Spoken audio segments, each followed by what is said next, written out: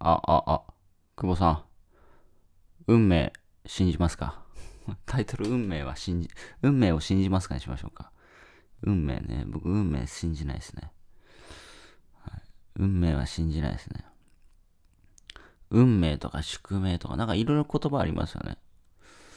なんか、あの、多分、運命があるとするならば、多分、運を引き寄せることができる行いをしてるかどうかじゃないですかね。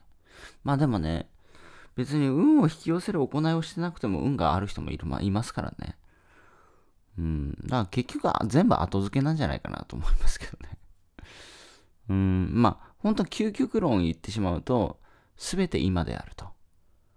すべて今であるっていうのは究極論ですね。なぜならば、今見て、今呼吸して、今の現実は、もうそれがリアルなんで。うん。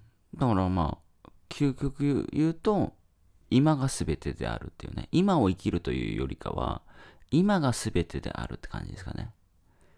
うん。だからその今が全てなので、今に全力投球した結果、まあ、久保さんも僕も、まあ、こんな生活をしてるって感じですよね。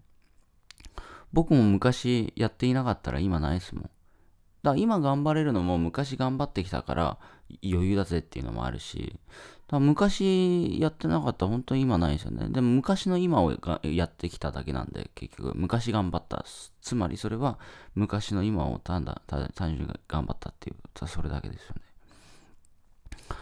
だからその運命とかね、宿命とか、なんか運が悪いとかなんかいろいろあるかもしれないけど、まあ今頑張ればいいんじゃないですかね それしかなくないですか？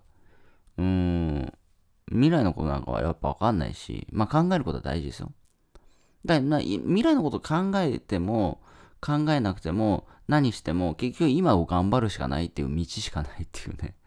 やるしかないって言ってらっしゃい。